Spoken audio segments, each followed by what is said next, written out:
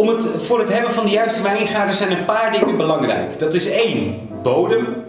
Twee, eh, het eh, klimaat.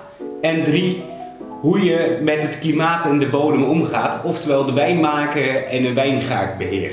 Nou, deze grote voordelen heb je in Californië. Een van de grootste voordelen is ook de ochtendmist, zoals ze dat noemen.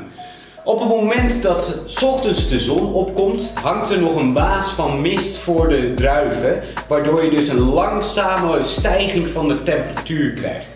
Dit is ideaal voor de rijping van de druif, waardoor je hele mooie, elegante en subtiele aroma's krijgt en er niet te veel UV-straling in, ineens op de druif komt.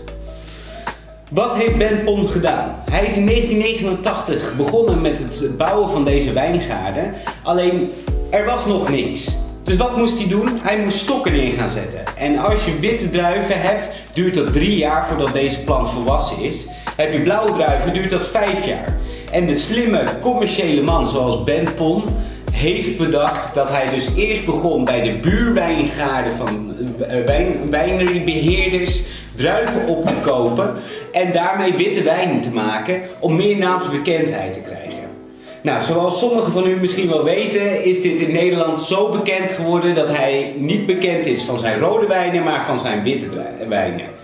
Nou, genoeg gekletst, we gaan nu beginnen. Ondertussen heeft u als het goed is de ceviche voor uw neus staan. En hebben wij een wijn-spijs combinatie gemaakt met de Bernardus Sauvignon Blanc. Die vindt u in de tube helemaal aan de rechterzijde.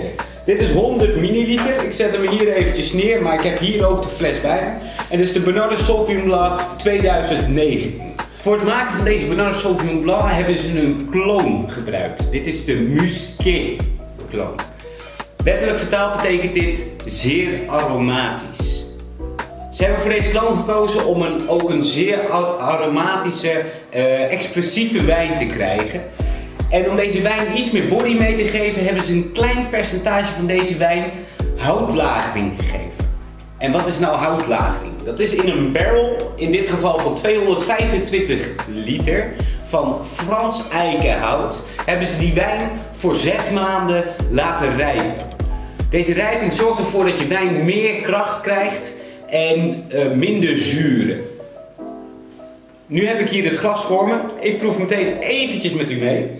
Want wat krijg je in de neus? Je krijgt frisheid, je krijgt een beetje dat grassige. Maar ook door het warme klimaat die exotische tonen. Denk aan passievrucht, mango. Uh, klein beetje vanille, maar nog wel in de afgrond die knisperende zuren. En die knisperende zuren, dat was voor ons het uitgangspunt voor het gerecht. De ceviche van coquille. Ceviche hebben we op basis van grapefruit gedaan in plaats van citroen. Waardoor je die zuren verhoogd krijgt. Klein beetje pata negra voor de crisp. En ik zou u zo meteen adviseren om van alles een klein beetje op een, op een lepel of op de vork te doen. Wat u fijn vindt om te eten. Hapje te nemen en dan een slokje van dit. Genieten gegarandeerd. Veel plezier en tot het volgende filmpje.